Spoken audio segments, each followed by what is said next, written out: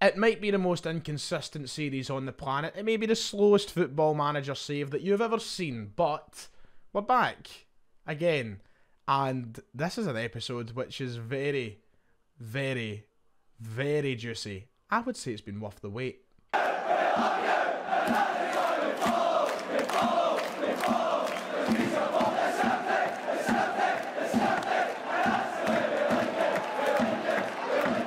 Well, I certainly hope it'll be worth the wait because we need to see what happens with the results today. Ladies and gentlemen, welcome back to Ryan 118 and we are near the end of the Premiership season. We still have a couple of derby games left to play. In fact, we have three derby games left to play because of the Scottish Cup, but we'll get into that very shortly. Today we're going to be starting with the game against Rangers at Celtic Park.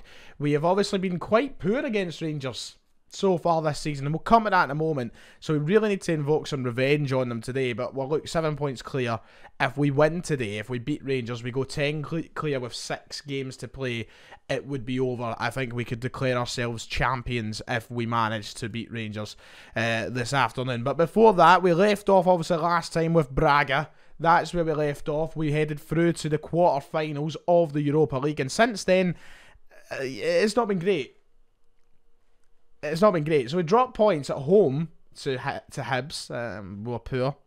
But then, you know, we managed to get a win, which was good. Giakoumakis scored a hat trick, in fact, up at Dingwall in a 3 1 win against Ross County. But we lost to Kilmarnock. Yes, we lost to Killie. Giakoumakis is on form, by the way. Just to, just to, he scored four in two games.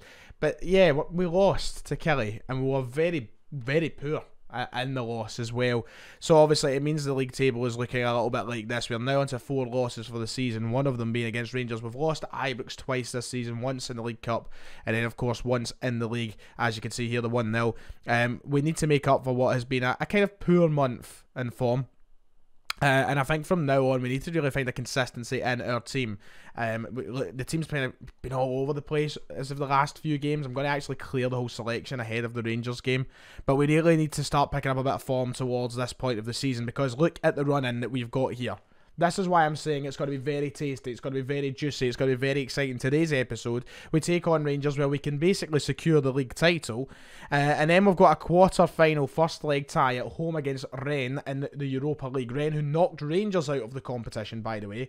Pretty sure. Pretty sure they did, didn't they? Didn't they? Did Rennes knock them out? I'm pretty sure they did. Did they? Yes, they did. I, I thought they did on penalties, in fact. Uh, so we've got Rennes in the quarterfinal first leg, and then the next episode will be the Scottish Cup semi final against Rangers, and then the away leg against Rennes. So it's Rangers, Rennes, Rangers, Rennes. Great. No major news squad wise, as we all know, Juranovic is out for what looks to be the rest of the season at this rate, so we're kind of working with very limited cover in the right back position, but that shouldn't affect us today. Alistair Johnston should be good to go. Um, we just need to obviously protect him for that game against Rennes, or those, those games against Rennes, I should say, but we want to win today. Let's get our team selected and let's get into that. Right, this is a team for today then. This is the one I've went with. Callum McGregor finally returns from injury we're throwing him right in the deep end. Some would say maybe it's a little bit daft throwing him in the deep end against Rangers today after the season he's had with injuries, but you know what? It's just going to have to be done. Uh, Giakoumakis has been on great form. I know Kyogo's been great as well this over the course of the season, but I, am going to go with, with Giakoumakis to start the game. Abada and Haxa is the wingers I'm going for as well. I don't know if I've actually played that combination all that often. Usually it's Jota and Haxa or um, Garnacho and Abada, but no, I've gone Hacks and Abada just to see what it's like. And you know what, I think we could do a job, and then everything else is pretty standard stuff. It's what you'd expect with the, the rest of the team. But the big changes, the big calls have been made and it's time to take on Rangers here at Celtic Park. We pumped them the last time at Celtic Park, but we've not had any luck since. We've not beat them since. Giovanni Van Bronckhorst is still in a job, for fuck's sake. And we've probably allowed that to happen by giving them some big results against us, because let's be real, they've not had a great season. Their form, do you know what? They're, this is the thing, right? We're going a bit. We're seven points clear of them, and I should have. I'll show you this right now. Look at it. Obviously, they had a look at their form right now. Three 0 loss to Hibs not long ago. Uh, then obviously knocked out Europa League. 3 2 loss to Motherwell and a 3 1 loss to St Mirren. They could have made a title race out of this. They could have been about level in points with how bad we've been recently, but they've been even worse recently. They look at our form: three draws, a win, and a loss in our last five. We've not been good. Um, the European football has been catching up with us, but they've just been as bad. They've got one more win um, but one more loss as well. So Ryan Jack's playing it right back. Did I see that right? Oh, we should be having a field day here, Haxa. Tear him apart, please. I, I just want to have a look at the team again. McLaughlin, Jack, Goldson, Davies, Yilmaz, Lundstram, Kamara. Wow. Jack at right back. We need to abuse that. We should be abusing that left hand side. I'm going to say focus play down the left because Ryan Jack at right back, that gives me a good feeling. It really does give me a good feeling. Now, is the highlights on? No, oh my god, they're not. Key highlights. Christ almighty. Just about never had highlights on for this, boys. That would have been an absolute disaster. Corner Rangers. Medeiros swings it in. Cleared by us. Maybe not the best clearance in the world right enough. Goldson gives it to Lundstram. Yilmaz. Kamara, why are they seeing so much of the ball? Why are we letting that happen? Taylor has had a nightmare there. He's tried to curl with that. That wasn't an, an awful effort, but if they want to keep hitting them like that, I'll let them do it. Mooy. To Anzemi. Header just goes over the bar. Like, if we win today, we have won the league. Like that's it. It's all over. There's no doubt about it. If Rangers win today, though, blows the conversation wide open. And I really don't want to have to have that test right until the end of the season when we, we are trying to maybe win the Europa League as well. You know, if it, we weren't in the Europa League, fair enough. Bring on a challenge for me. But I'd, I'd like to be able to rotate. I'd like to be able to play certain players. So a win today is paramount. Haksabanovic He's running down that left hand side. Ryan Jack is nowhere to be seen, by the way. Haxa slips it in for Giakoumakis. And there you go. It's 1 0 Celtic around the 40th minute. Haksabanovic just powering it down that left wing. And he wasn't greedy. He wasn't selfish. He looks up. He sees Giakoumakis. And look at Ryan Jack. He has no idea what to do. A new focus and play down the left. This took his time. This took his time. But nonetheless, we're 1 0 up. What looks as though it's got to be the score heading into half time as well. We're in a good position. There we go. Brilliant. Haksabanovic with another assist as well. Is exactly what you want to see. Um, uh, no, do I say there's no pressure? There, definitely is pressure. But we're going to start the second half with the same team for now. Because why not? But I'm happy with that first half. I know Rangers had a couple of chances, but nothing worrying. We just need to be wary of them. Uh, here's Rangers now on the ball. I feel like more highlights have went their way, but they've not been threatening really at all. Whereas our couple have been, ah, oh, Johnston, you plonker. Penalty to Rangers, the famous saying, as we all know. Morelos steps up at Celtic Park. Will he score? Come on! Yes, Livakovic. Morelos having another derby nightmare. Look, he's rating. still can't score against us. Love that. 1 0 still. Morelos missed a penalty. That needs to give us a kick up the arse because we, yeah, although we're winning, we, we, we probably could be a lot better. Rangers seeing a lot more of the ball, it seems, when we go highlight to highlight. Hacks intercepts, really well done. Tuanzebe. Can we play out from the back? We're going down this left hand side again. Taylor. Haxa. O'Reilly. I'm looking for that run. I'm looking for Haxa just to pelt it down past Ryan Jack, staying on side. There it is. That's exactly what I'm looking for. Haksabanovic gets past Ryan Jack. Has a nightmare and Giakoumakis again. 2 0. Haksabanovic linking up with Giakoumakis. Is that the new in thing here at Celtic? Play the song. Giakoumakis comes for grace. But look at this. He sends Ryan Jack on his arse. Look at that. Hasn't got a chance and hacks his ball. It's a nightmare from Jon McLaughlin as well. But we're 2 0 up, so I'm hardly complaining. And It's been a great performance for both Giakoumakis and uh, Haksabanovic. So I'm going to make some subs for the boys that are, are looking a little bit tired. So Hatate's got to come on. I'm going to bring on uh, Alejandro Garnacho on the right hand side. Mooy's looking a little bit tired. I'm going to bring on Enes Unal to sit in behind there. And then we've got two subs left. We've got a couple of players on yellow cards as well. So we just need to be a little bit careful. Uh, I've got two subs left in the game. And I would like to probably get a couple more players on that probably deserve more of a chance. But we're 2 0 up. We're in a good position. And the league title is effectively won from this point out, I would say. Um, I mean, to lose a 10 point lead with six games to play would be unheard of. Garnacho, can he finish it off for us? He can! That's a brilliant finish from Alejandro Garnacho, who gets his say on Derby Day, as Ian Crocker would put it. That's a tremendous finish. It's a good pass from Alistair Johnston as well here. Look at this. She sees the run, picks him out, and look at this. Just with ease putting it into the side netting. That's a top tier finish from the from the young Spaniard.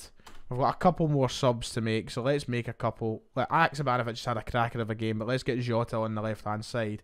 And Alistair Johnston is absolutely knackered, so I'm going to bring on Carl Starfelt, and I'm going to move Tuanzebe over to the right back position. And that'll do us to finish off the game. I mean, 3 0 up against our arch rivals. Uh, Morelos has had a stinker. It couldn't go much better, could it? Jota swings it in. Can we add one more maybe in this doing of Rangers? They're trying to just get it up the park. It's only going to go as far as Taylor. Hatate does so well there to go in and take that from our field. Here's Vickers. Let's just play one long pass. Garnacho, that's brilliant. Jota, he's hit the bar. Oh, he added it. He added a fourth. That was so, so unlucky. There's been a lot of yellows in this game, by the way. It's been a dirty derby, this, but I think that'll about do it. And it does. It is full time. It's Celtic 3, Rangers nil, and effectively, I think the league title could be ours. Um, not officially, it's not mathematically done yet, but I mean, it would take a long, long shot for Rangers to recover 10 points in the remaining six games. Surely we are champions. Well, that's left us in a very good place uh, heading into the last game before the split. We have Motherwell at home. We should be winning. You'd imagine we'd win. Our last game against Motherwell, I think we, we won, yet we won 2 0 at Fir Park. So we should be beating them at Celtic Park, and that would take us into a nice position as we head into the split. But before then, we've got three huge games, which is going to be hard to manage our players for because, like, we've got Rennes on the Wednesday, Rangers on the Saturday, once again, Rennes on the Wednesday following. The only good thing about Rennes just now is uh, they are missing one. I don't even think it matters. They're missing like a backup keeper. So, no, there's no good things. We just need to be careful heading into this. But I'm excited. I want us to go and win this Europa League. And this is the best possible chance we've got. The draws were so good to us. Um, I don't want to let this slip. Joe Hart's not very happy uh, about the playing time. Obviously, Livakovic coming in, taking his place. And I love Joe. I really do. I, I love Joe with all my heart. And I, and I don't want him to be upset. I'm not starting enough to make our first choice keeper. Uh, I need you to ensure that changes. Uh, listen, listen. I don't. I don't know. I, I don't want to lose Joe. I don't. He's up for a loan. I don't really want to loan Joe and Joe Hart out either. I like having him as the backup option. I think it's good, but to keep him happy, you know, maybe we'll loan him out for a while. I don't know who's going to take him on loan. Let's see, Spartak Moscow. They're paying a good bit of his wages as well. Okay, Right, well, maybe maybe Joe can go to Spartak for a bit. I don't believe it. Vickers has got injured right before these games. Oh my god, do we let we're going I'm not going to put him through injections. I'm not even going to chance it. We won't have him for Rennes. Okay. I okay. Oh, Joe Hart wants to All right, Hart's back. My god, got to let me breathe for a minute.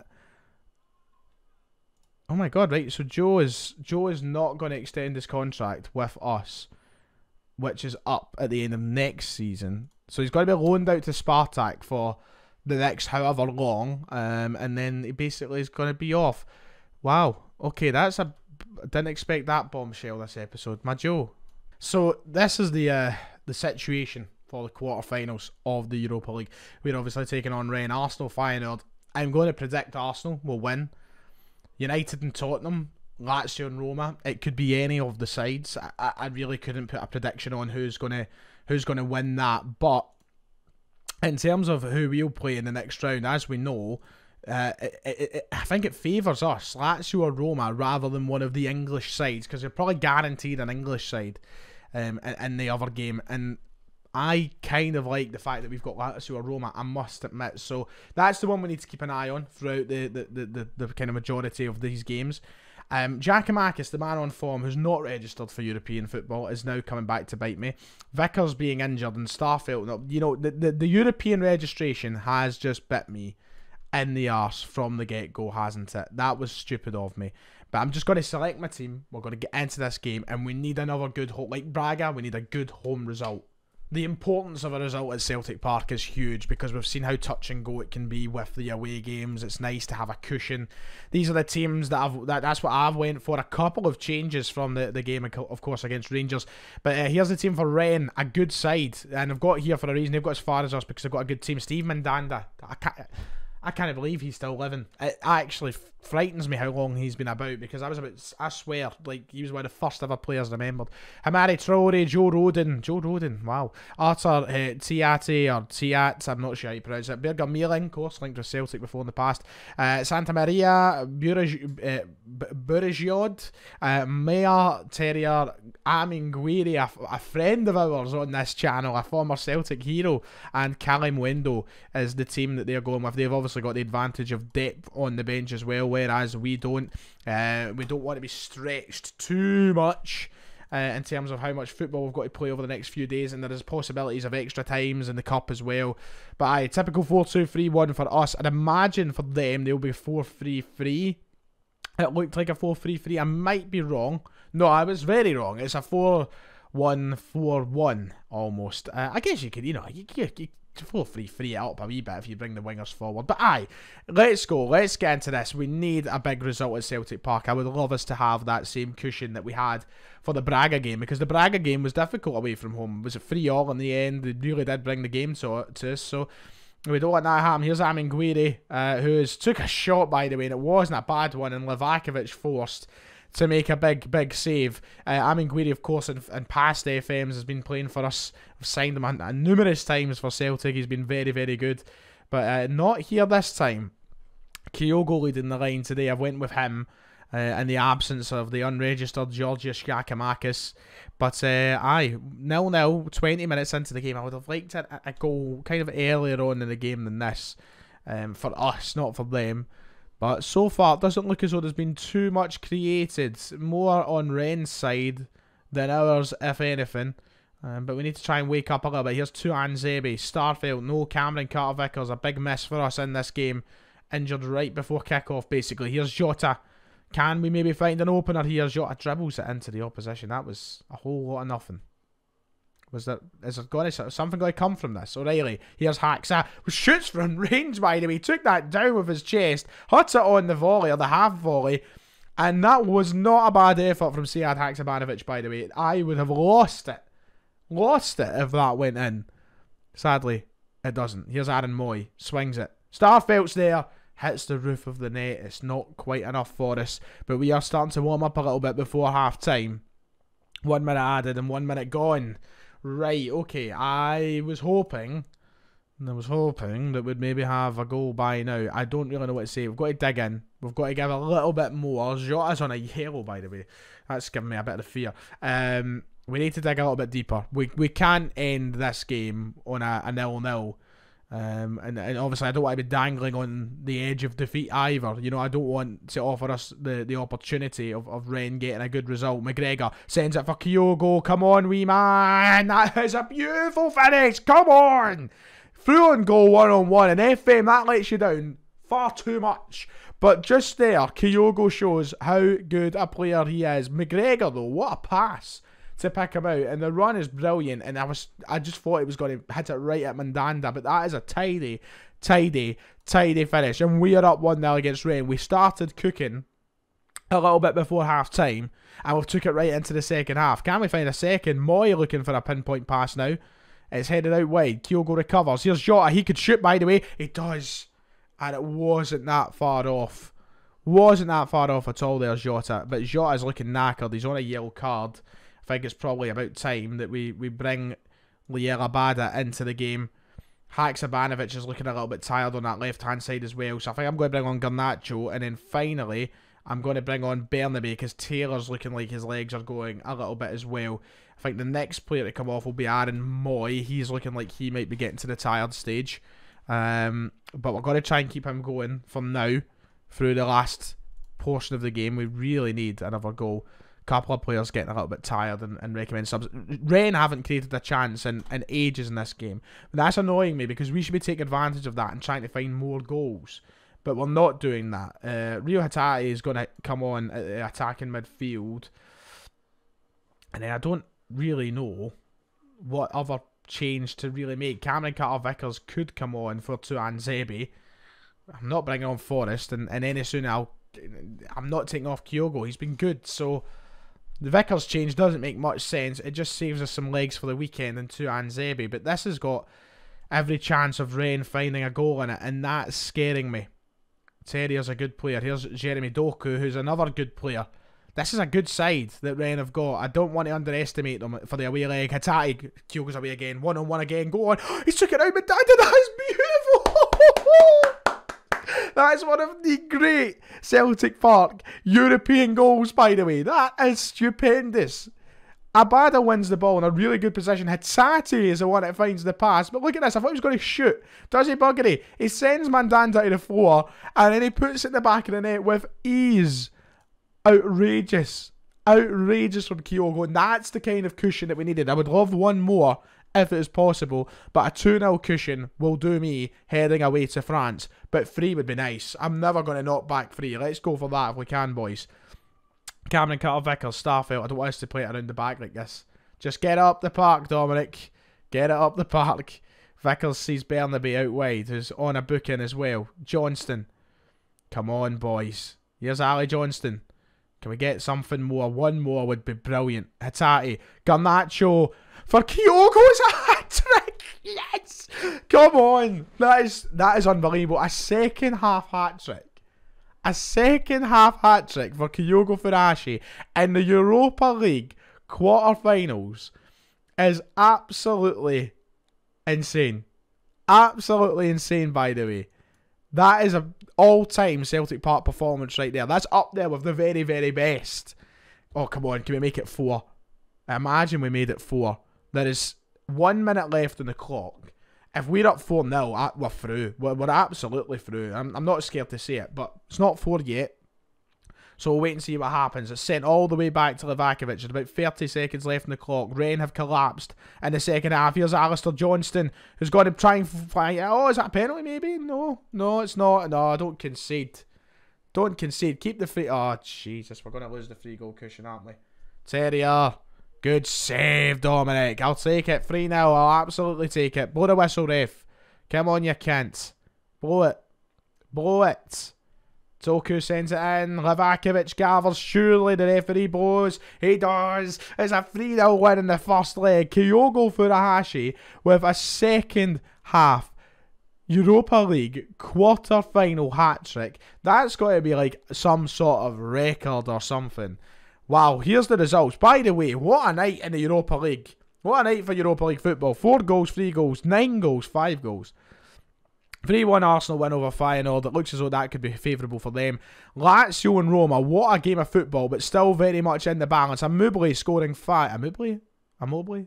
Four, five, four goals for him and a 5-4 win. So Lazio right now going through and United winning 4-1 against Tottenham. And uh, Wow, wow, wow, wow, wow, wow. I cannot quite believe that that's the way we end this episode. So that's great. Uh, next episode, we'll see if we can make it through to the semi finals of the Europa League and the final of the Scottish Cup. So I'll see you then.